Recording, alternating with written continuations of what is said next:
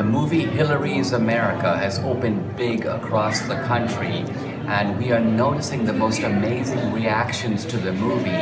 People shouting, uh, cheering, uh, clapping, uh, crying, uh, standing up, uh, putting their hands across their hearts.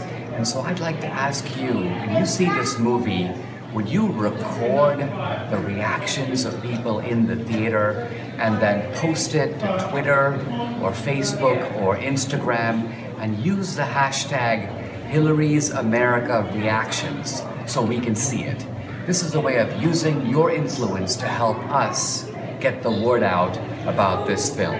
Thank you.